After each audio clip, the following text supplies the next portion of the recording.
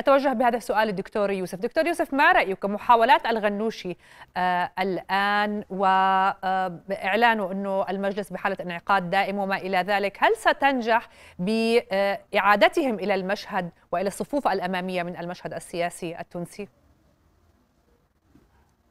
أنا لو عندي من خلالك أخت لارا أن أسائل السيد الغنوش الذي أعرفه شخصيا أني درست سنة السبعين معه في معهد من معاهد في القيروان. أسأل سؤال واحد. غير الأسئلة التي سألها الأخ الآن حسان. في باريس وغير الأسئلة التي ربما الأخ حسان والتي سألها سيد البحري البحري العرفاوي. سؤالات بسيطة جدا في الزمن السياسي. الزمن السياسي هو اللي جعل المجلس التأسيسي يبقى ثلاث سنين عوض عام. وغضب الشعب التونسي واستاء من هذا تضييع الوقت هذا. ثم هو اللي منذ سبع سنوات الدستور يحتم عليه أن يقيم المحكمة الدستورية فلم يقمها وعندما أراد أن يزيح الرئيس نادى بإقامتها وجاهد على إقامتها. هو الذي زج بتونس في قضية الديون هذه بإدخال 200 ألف 200 ألف موظف في الوظيفة العمومية. هذا بتصريح الوزير الأول سيد حبيب الصيد في البرلمان عندما أجبر على أن ينتهي. لذلك الأشياء الكبيرة سياسيا لا أدخل في اتهامات أو شبهات قضائية ولا حاجة. أنا ليس من دوري وليس من دوري أحد منا أن يتهمه بشبهات قضائية. لكن على الأقل المواقف السياسية تدل على أنه الإيقاع السياسي لا مقارنة بينه وبين الإيقاع منذ شهرين الذي بادر به قيس سعيد. والذي بادر به قيس سعيد عن دراسة للميدان. ميدان إحنا يوم 25 جويلية عندما جاءت مظاهرات ننظر إلى التلفزيون ونقول والله حول باردو قليل من الناس. جاء ثم تكاثرت الناس ثم في سوسة مصب كامل بتاع جماهير ثم في طوزر ثم في جابس في الجنوب في الشرق في الغرب بتاع تونس قامت انتفاضة لم يكن لقيس سعيد أن يبالغ فيها أو أن أو أن يؤثر على وجود هذول الناس. ثم اتجهوا كلهم كلهم بنظام يعني بدون عنف كبير إلى مقرات النهضة.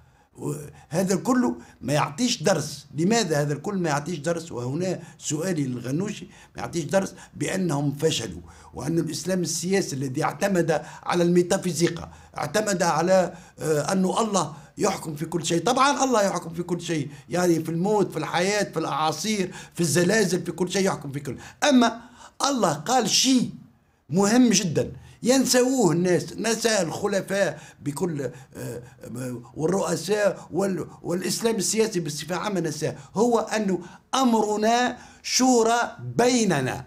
بيننا يعني بين البشر. أنه الله ما عنده دخل. طيب. الله ما عنده دخل. لأنه قال لنا أنه أمركم شورى بينكم. طيب. بينكم يعني ولكن دكتور يعني قرار أمر دنيوي. قرار تمديد الإجراءات الاستثنائية اللي أعلن عنها الرئيس سعيد دفعت بعض معارضيه إلى اتخاذ ربما مواقف أقل تأييد أو الانضمام إلى معسكرات مجابهة لمعسكر قيس سعيد لأنه اعتبروها فيها نوع من استفراد الرئيس بالحكم وتحكمه بالسلطات التنفيذية والتشريعية ألا يضعف هذا موقف الرئيس سعيد برأيك؟ الشعب التونسي وأنا من الشعب التونسي. أنا كإنسان موجه لي السؤال هذايا والملاحظة هذه.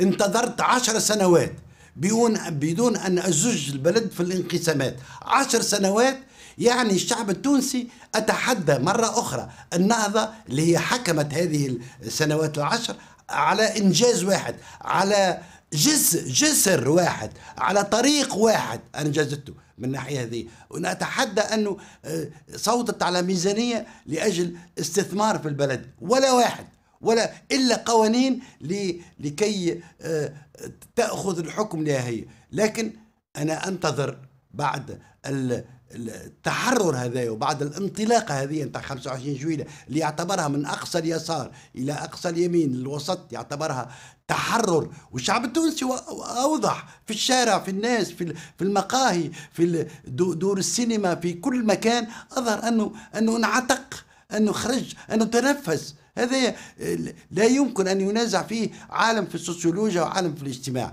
أنا أعتقد أنه هذا يدل على أنه لابد لنا أن ننتظر شو شهرين بالنسبة للعشر سنوات اللي عاشهم الشعب التونسي.